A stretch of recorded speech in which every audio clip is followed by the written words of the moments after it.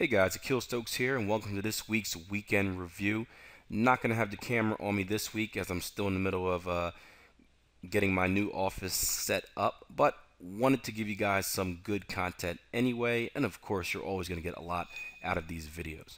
Now, this week, as usually, I'm going to show you some flashbacks, kind of a recap of the week that was in the live room, and I'm also at the very end, I'm going to give you a trade I'm going to give you a potential trade that you can take advantage of tomorrow uh, if you indeed decide to. Now, before I get into the live room sessions, I want to give you guys kind of a recap of what's been going on. If you watched last week's video, and if you didn't, make sure you go back and do that. We talked about how there's one month left in the trading uh, trading year, which is December, and as far as the live room statistics go, we're almost break even or almost dead even I should say with where we where we were at last year. Last year we were able to return 42% uh, on investment. This year we're sitting at 41 as I speak and well being a firm believer of the Kaizen philosophy continuous improvement I've made it a goal in the live room that hey I want to do better than last year.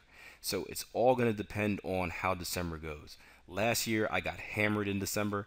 This year well, we're starting off pretty good. This this uh, this week we took about six trades, and well, actually we took around probably ten trades. We had a few break-even uh, ones during the day, but the six trades that completed, five were winners, one was a loser, and we're in triple-digit pips already. So we're starting off good. Now we still have a, a long time to go, including tomorrow, and we don't know what's going to happen. But I'd rather start off good than start off bad. Um, so here's a look at what we actually looked at in live room and then I'll be back in a little bit to talk to you about this potential trade setup. So we we kicked off the first trading day of December with a very interesting day. It was a day of uh, well, just near misses, I would say. We did have one winning trade here on Euro Dollar. We took a uh, and even this was a, a, near miss. We took a double top right here. It was a three drives pattern. If I zoom out some, you can see it right in there with the blue lines. A three drives pattern. We took it with a double top entry with RSI divergence, as you can see down here. Um, and I had my initial targets right above this 3 to about 35.69. You can see the market came all the way down to 35.70, retraced back up, and is now working its way back down. I actually just took my targets or my profits off. I closed down the trade because I'm, I'm having a guy come in to mess with the internet, and I have a rule that says if I'm not able to manage a trade, especially on the lower time frames, then I just don't want to be involved in it. So I was going to close out the trade whether we were in profit or in tar uh, or in uh, or in drawdown. But one near miss right there. We had another near miss on pound yen. We did some analysis on the higher time frames. Uh, essentially, long story short, we had an ABCD pattern at Fibonacci confluence at a structure level right here. We were looking at this on the five minute chart, waiting for a double bottom didn't get it on the five minute chart, decided, hey, let's check out the range bar chart, and well, just missed our entry. Now, one of the things with pound yen is because I have a big spread on here, I didn't want to enter late and really screw up my risk reward. So was looking for another opportunity for the market to come down into the 68 even handle and well, just didn't get it. And you can see price action came back uh, to our target profit level, which is right here at structure and our 382. We also had a short entry. Well, we had a, a short opportunity right here, but again, because it was towards the end of the session, because uh, I'm not going to be, I'm not going to have any internet running, wasn't able to involve myself in this one. Lastly, we had something that we rarely get. In fact, we've only had it once this year in the live room. It was a butterfly pattern a butterfly pattern here on Euro Yen. And I don't like butterfly patterns because of that D leg and how it completes in comparison to X and it doesn't really provide safety. But this one I did. We had a butterfly pattern that completed right down here on Euro Yen. If I zoom out my charts, you can see a beautiful cluster of structure down here. We have a false breakout here, but aside from that, structure, structure, structure, structure, structure, structure, beautiful. We had our order set at 39.09 and guess what? Price action came to 39.10 and then went up without us. So a day of near misses, one of those days where in the past I would have got very frustrated, angry, upset, would have yelled at my broker, oh, the markets are out to tease me and made up whatever excuses. But Now, and as I told the traders in the live room, you just got to take the positives out of it. You take the positives that, look, I did my analysis. My analysis paid off. The market did what I expected it to do. I just missed out by a little bit and realized that this isn't the last time a butterfly pattern is going to form. This isn't the last time a three drives ABCD pattern is going to form. This isn't the last time, you know, a structure trade is going to form. It's going to happen over and over again in your trading career. So why get caught up over one trade? Use it as a confidence builder, saying, I was right in my analysis. And next time that opportunity comes, guess what? You have more confidence to take it. You're not thinking, oh, maybe I should short, maybe not. You're saying, you know what? I've done this before. Let me put the order on. And that's going to help you a lot with being consistent in your analysis. So it stinks profit wise. But again, we're not trading to make profit. And if you're, if you're really trading correctly, you're not even worried about the money. It's process over outcome. You're not worried about the money you missed or whatever. You're worried about did I analyze the market right? And in this case, you did. Unfortunately, you just missed out by, or we just missed out by a little bit. And look, it happens. Tough stuff. So that's how we started our week. Wednesday trading, man, what a busy day. And well, usually the middle of the week, Tuesday, Wednesday, Thursdays are the busiest uh, trading days. Now, today, well, I should say this, yesterday was a day of near misses, as you guys saw in, in the, the last clip. Today was a, a day of target one winners. And well, we started off the room on fire. Um, within the first 10 minutes, we identified about four cipher patterns. Uh, and well, let me just walk you through some of what we took in the live room. This one on pound yen or pound dollar actually came a little later, but it was a pound dollar cipher pattern. We had an X to A, A to B, B to C, C to D completion about right here. You can see it pushed up a little further. And as you can see, we rolled down and hit target one right at this three. Oops, if I get the right right deal on, right at this 382. And then came back up to get stopped out for a break even on our second position before rolling over for a target twos or what would be target twos. One of our live room traders actually got lucky forgot to roll his stops to break even. And uh, well, by the time he got back to his charts, noticed that well the market was moving down, so he was able to bank a little more profit and get that target two hit. And that's luck for you. Sometimes it's on our side, sometimes it's not. Uh, same thing on Aussie dollar. We had a good setup on Aussie dollar. I'm not going to show you guys that.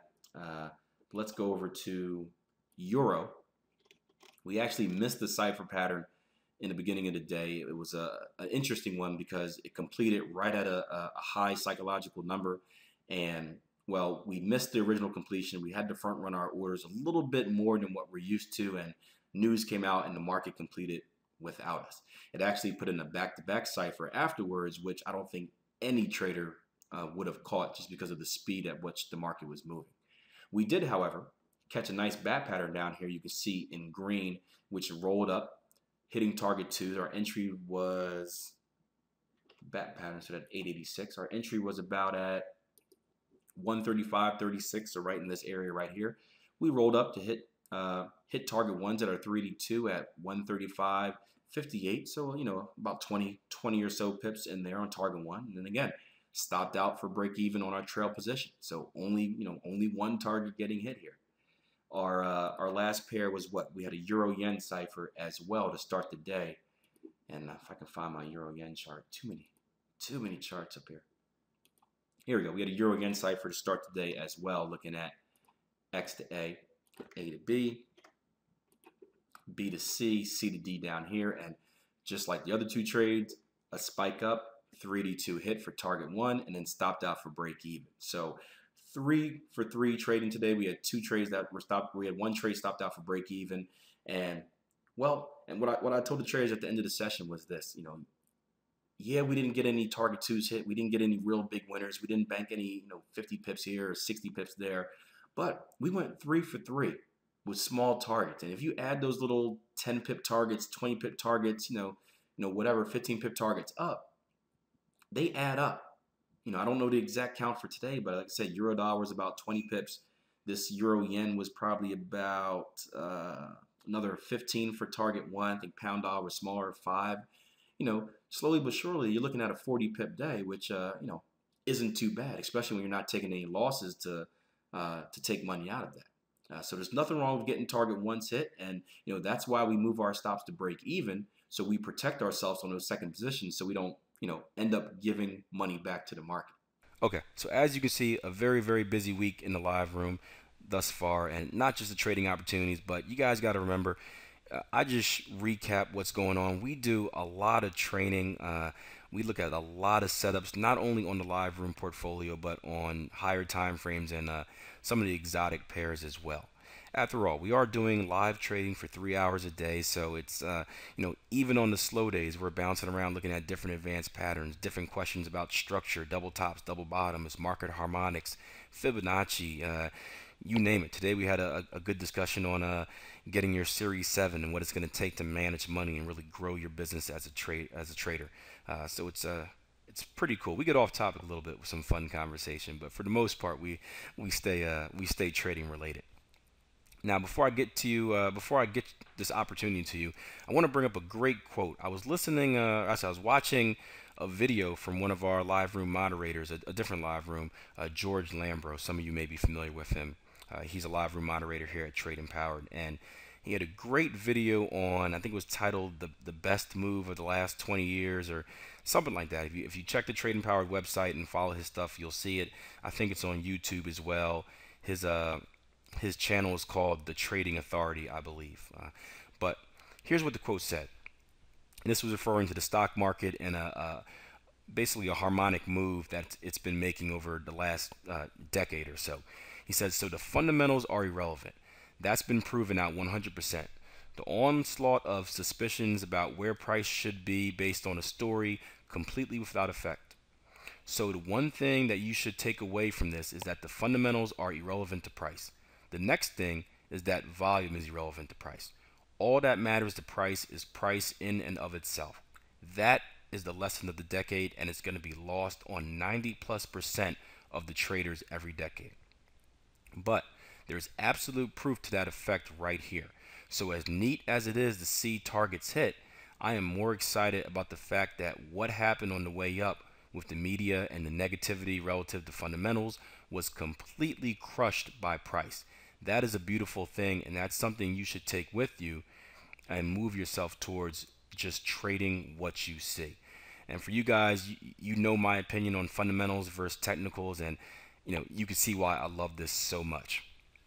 We actually had a very good example in the live room today, where there's an ECB press conference and a, a few economic reports coming out uh, early in our in our trading session. We were looking at the dollar yen. There was a potential bat pattern on there that a trader had brought up, so we went and checked it out the fundamental report came out immediately a humongous bullish candle shot right up i can't lie to you about this. It hit the 886 came right back down guys. Came right back down. And i told the traders in the room if this wasn't an example of how powerful technicals are then you should leave the room right now and and, and try another style. Um, and i'm a believer that you know, fundamentals shouldn't be thrown out the window 100%, but technicals are what rule the market. The market respects these technical levels, whether it be Fibonacci, whether it be structure. Fundamentals simply push the market and price action there quicker. You know, so technicals and fundamentals, they control the destination. Fundamentals uh, or technicals and uh, harmonics and, and, Fibonacci control uh, the destination fundamentals control the speed of the car if you're imagining driving down a highway. And to piggyback that, I want to bring up an opportunity here on the euro dollar. I'm on the four hour chart, and we actually have an advanced pattern setting up, which we could see played out tomorrow. Now, this is going to be a bat pattern. We have our impulse leg right here, our X to A, our A to B retracement right here. We then retrace one more time inside that to give us a valid C leg and then we're looking for a D completion up at this 886 3773 now we all we all know tomorrow is the first friday of the month so that means what? Non-farm payrolls unemployment claims the big boy news the fireworks show as i like to call it. So and, and if you're not familiar with it what basically happens is the market goes crazy. We see swings of 100 and so pips up down sometimes up and down. The market just goes crazy and uh, especially on the day trading side of things i choose not to involve myself in it. However, I don't have such rule for my swing trading. And what I'm going to do is I'm going to have aggressive orders sitting right here on this 886 to sell this euro dollar. Now, of course, I'm going to have my stops above X because you always want to have protective stops in. If you're not trading with protective stops, especially during a non-farms uh, announcement, you're you're an idiot. So you always want to have those protective stops in for worst case scenario. Um, you know how much exactly you're willing to lose. But I'm going to have aggressive entries in right here at the 886. And if this non-farm payroll announcement comes and pushes price action up, I'm not going to be afraid. I'm not going to sit back and say, "Oh, I don't want to go against the news. Uh, it's it's a big momentum candle. I, I should just wait." No, I'm going to let the market come here. I'm going to trust my analysis. I'm going to trust my belief system on advanced patterns, and I'm going to short it right in the middle of all the mess. I don't care. You know why? Because when I did my back testing, when I ran through my charts for hours and hours and hours, do you think I, I, I cared about interest rate decisions or non farm payrolls and stuff like that? No. My stats, my data are, are all based off of what I saw in the chart. What did price action do? And therefore, my trading uh, live is based off the exact same thing. So this is a potential setup for tomorrow. Again, we may see a push up there. Uh, the Asian session is about to start in about 10 minutes over here. So we, we may see a push up there during the Asian, Asian session, maybe the London session. But most likely the market's going to stall off and wait for this unemployment and non-farms to come out. And we could potentially see a spike up to this level. The question I have for you is if you're an advanced pattern trader, if you trade the bat pattern, are you going to have your orders there? I know I am. So I hope you guys enjoyed this video as always, I try to give you good uh, good content. I've been getting very good uh, feedback, so keep it coming. Keep sharing this thing. Keep liking it. Uh, keep encouraging others to others to subscribe to this channel. That way, you get updates uh, like Jason's new uh, pattern course coming out, which is going to be great, especially for those in the syndicate. Um, we've been dumping pattern after pattern after pattern in the syndicate this weekend. Well, for you guys that learn how to trade these things, you could just see the amount of opportunity that you're going to have throughout a week. So keep your head on the lookout for that if you haven't signed up already.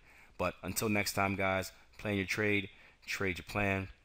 I'll see you when I see you.